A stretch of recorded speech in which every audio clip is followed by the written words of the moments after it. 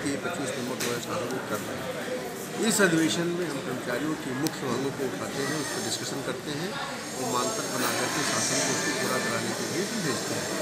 मुख्य रूप से पुरानी पेंशन व्यवस्था की बहाली है। विभिन्न संवर्गों के वेतन विसंगतियों का निराकरण है। विभिन्न संवर्गों की वेतन विसंगतियाँ वेतन समिति दे रखी है, लेकिन अभी तक सरकार ने निर्णय नहीं लिया है।